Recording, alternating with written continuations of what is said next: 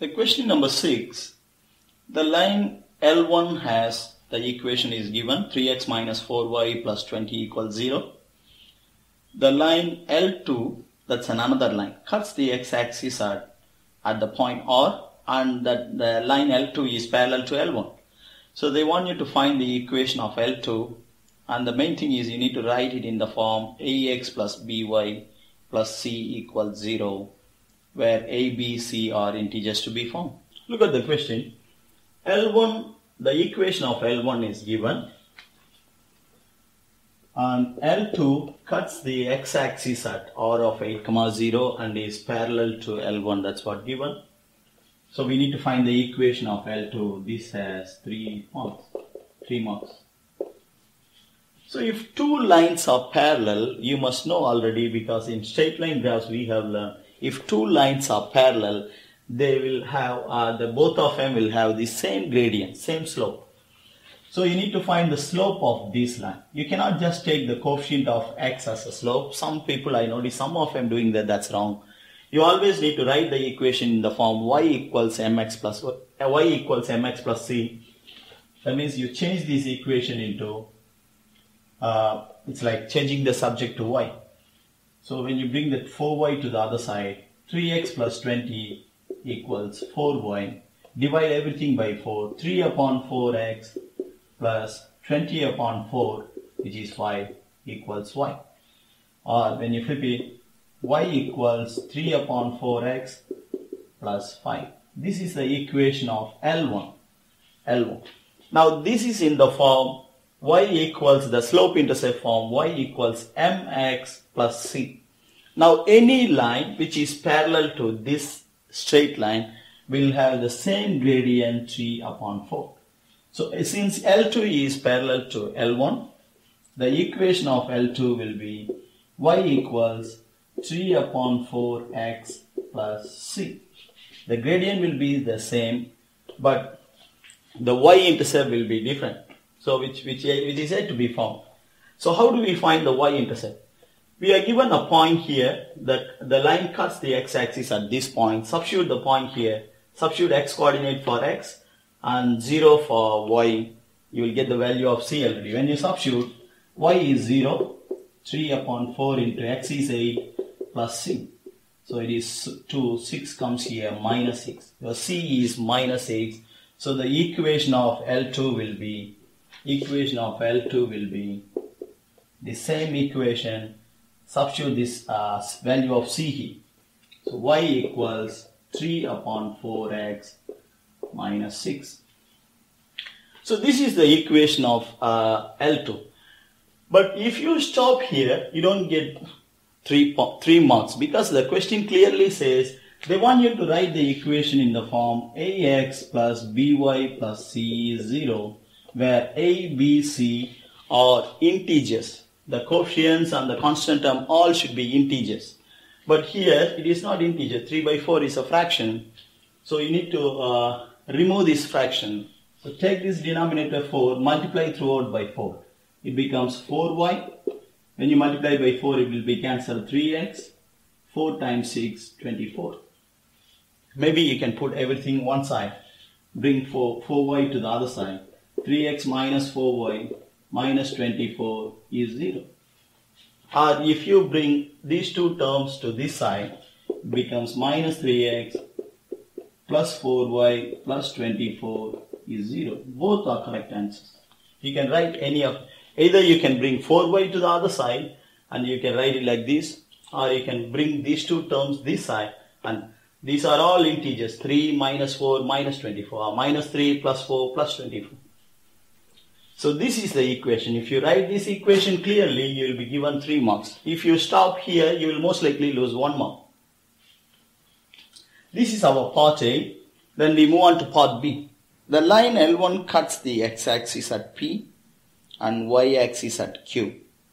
Given that PQRS is a parallelogram, find there are two uh, two parts, part B and part C. You need to find the area of a parallelogram PQRS first then the coordinates of S. So our part B clearly says the L, L1 cuts the x-axis at the point P and y-axis at Q. And if, eh, if we take a point S in a way such that PQRS forms a parallelogram, they want you to find the area of a parallelogram which carries three marks. How, how do we approach this question? So if I were you, I will always draw a rough diagram. It saves you a, lot of time. So let's say we draw a simple diagram. Again, there is no marks for your diagram, but again, I, it's a piece of advice from me. It is always good to draw a simple diagram which will, which will make your life much easier. So if you take x and y axis, x and y axis, and try to draw the first straight line. It says the straight line cuts the x-axis, x-axis, and the point P. So whenever a line cuts the x-axis at some point, you want to find the coordinates of the point. The point will have 0 as a y coordinate. So substitute y is equal to 0 here. So your x will be, when you substitute y is 0, 3x is minus 20. So it will be minus 20 upon 3. So the point will be somewhere here. Minus 20 upon 3 comma 0. That's your point P. That's a point P and it cuts the y-axis at Q. Y-axis is the y-intercept. So if you have, from part A, we have uh, modified this to the slope-intercept form. So this, in the slope-intercept form, you can take the y-intercept. That's, that's, that's the point where the line meets y-axis. Or if you want to find from here, keep x as 0. So you will have y is minus 4y is minus 20, y is 5. So let's say somewhere here. It is 0 comma 5 that's our point q. So our l1 will be this. Sorry about my diagram. This is the l1 straight line l1 and l2 L2 cuts the x-axis at r of 8 comma 0. In part A, it's given the cuts x-axis at r of 8 comma 0. Let's say 8 is here, 8 comma 0. This is point r and L, L1 and L2 are parallel so we just draw a parallel line okay now they say PQRS is a parallelogram the S is not the point where the line intercepts y-axis it can be any point but PQRS if you just join this if you just join this and from P you need to join another point maybe here or here, we are not sure actually. This is the point S. But only thing, the PQRS is parallelogram. That means these two lines are parallel. You see now, look at this parallelogram PQRS. We don't, we don't have the coefficients of S. But they want you to find the area of this uh, parallelogram. So if you know, if you know a base and height, you can find the area of parallelogram base into height. Or if you know the two diagonals as a vectors, if you learn vectors, you can you can find the area of a parallelogram also. Here we don't we don't know which one is base. We we, we know nothing. So all we have is uh, these three these three points only. So how do we find the parallelogram? And this uh, question has three marks.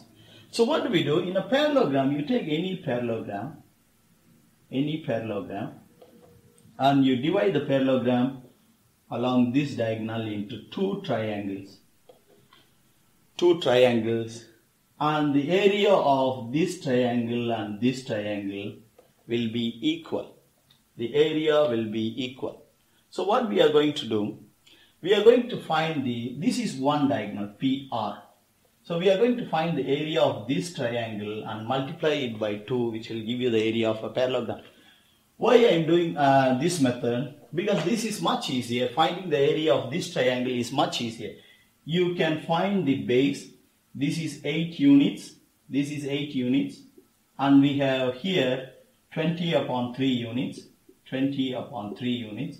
So your base is 8 plus 20 upon 3. That's the total length and your height is height is the perpendicular height from the third vertex to the base which is 5 units because y coordinate is 5 so this will be 5 units so your height is 5 units so the area of this uh, triangle will be half base which is uh, 8 3s are 24, 44 upon 3 times height.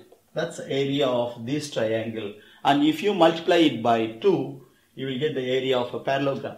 So area of a parallelogram PQRS equals 2 into this half into 44 by 3 into I can cancel this out. So when you multiply you will get 200, 4 5s are 20, 220 upon 3 square units. So this is the easiest way because this question has only 3 marks. Again, I repeat this again, there is no marks for this diagram. But when you draw a diagram, you see it is easy to find the base and height. It will save much of your time. So the area of a parallelogram is 220 square units. Now let's move on to part C. Our part C says they want you to find the coordinates of S. Coordinates of S, the X and Y coordinates. And it has, it has two marks actually. So how do we find the coordinates of S? There are a number of ways. Either you can find the length of this and length of this, equate them and try to solve the simultaneous equation. Or you know the equation of L2, the equation of L2 and try to find the equation of this line because this line will have the same slope as this line. You can find the slope using the two points and find the y-intercept using the this point. So you will get the uh, equation of this line. So find the point of intersection. So you will get S. So there are number of ways to solve this. But again, I always tell this to my students. Before you jumping into solving a question, always read the question carefully. They say the coordinates of S, that's all. Again, the next, next thing before you solving it, you need to pay attention to your total marks actually. Your part C, this is part B. Part C has only two marks. So it's not, it's not worth your time if you solve, if you take any other method, it's going to consume a lot of time. So the easier method, because it has only two marks, we don't need to do a much of working. So the easier method, if you take a look at these points, okay, Q, uh, PQ and SR, let's say I move this point Q along this way parallelly, parallelly to the other line, the Q becomes R. So P, P becomes S. That means when your Q, the point Q or the point Q is 0 comma 5 becomes R. When you move along this line, Q becomes R of 8 comma 0 so P of minus 20 by 3 comma 0 becomes S. We don't know the coordinates. This is the easiest way. This only works for parallelogram, square or rectangle because all the opposite sides are parallel. You cannot take it for this any other quadrilateral, it won't, it, it won't work. So Q becomes R. So your x coordinate becomes 8 and y coordinate becomes 0. That means x coordinate is added by 8 so here the new x coordinate will be minus 20 upon 3 plus 8. You just add 8 to the x coordinate. And 5 becomes 0. That means 5 is 5 is subtracted from the y coordinate. So you need to minus 5. So your y coordinate will be 0 minus. This is the easiest approach. So it will be 24, eh, A3s are 24, 4 upon 3, comma, minus 5 which is the coefficients 4 upon 3 it is positive 4 upon 3 x coordinate is positive 4 upon 3 minus 5 is a y value this is the easiest approach because the question has only two marks so it's not worth your time if you if you move uh, if you try to work it out by using some other method by finding there are a number of methods i agree there are a number of methods but if you try to do it using some other method it's going to take a long time this question has only two marks which tells us that you're, you're not supposed to spend more than two minutes on this question. So your coordinates of S will be 4 upon 3 comma minus 5. I repeat this again if you don't understand. The Q, when you move this line, the line segment along the way, along these two lines to line L2, your point Q becomes R So P becomes what? What is, what is the change in the x and y coordinate? You just compare it, that's it, simple. Your Q0 becomes 8 here and 5 becomes 0. That means from this x coordinate you, you added 8. So you need to add 8 here to get the x coordinate. And your y coordinate you minus 5 so it becomes 0. So you minus 5 again. Minus 5 here. So you get 4 upon 3 minus 5.